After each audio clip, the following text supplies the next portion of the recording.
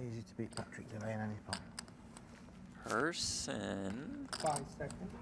with the 7-3 off. Flicks in the call. Oh, why not? Stuck. C3. yeah. 30 grand out there and change already. Comes Jack 8-3. Jacks for Markus Gonsalves. Threes for Persson. Going to fire here. Seventeen. Half pot bet of 17,000.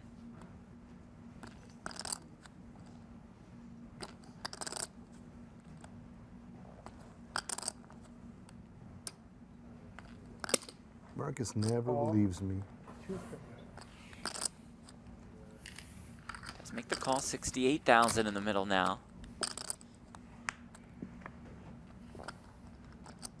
Turn delivers another eight.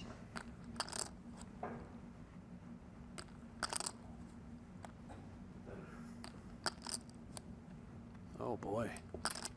See already now just targeting what he thinks could be a jack. Persson is Fifty-two. uh, effectively turning this three into a bluff, And bets $52,000. trying to suggest that he has an eight, that he led with it, and he's barreling off once more with trips. A lot of history between these two, including a similar situation yesterday where mm-hmm. Persson led the flop, 52. Bombed the turn, Call. and gave up on the river. Was it a total setup leading to this moment right here for More Persson? than $170,000 now in the pot. King on the river. Will Persson go fire, fire, fire?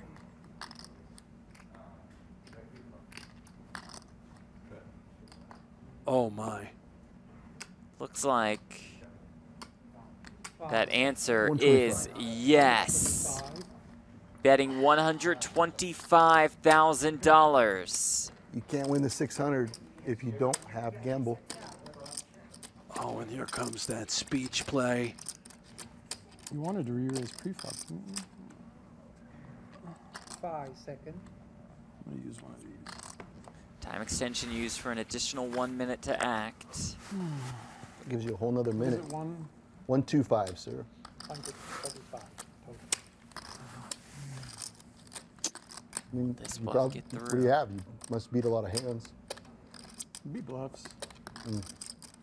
What do you have? I started with a great hand, and I finished with one even better.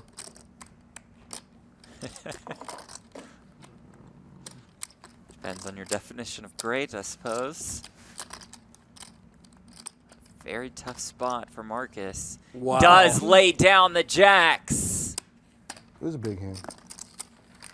Did you have a pair? I fucking Ten of clubs. They're on the board. No, but did you have another pair? Yeah. Oh shit! Then I was bluffing. I was fucking snapped.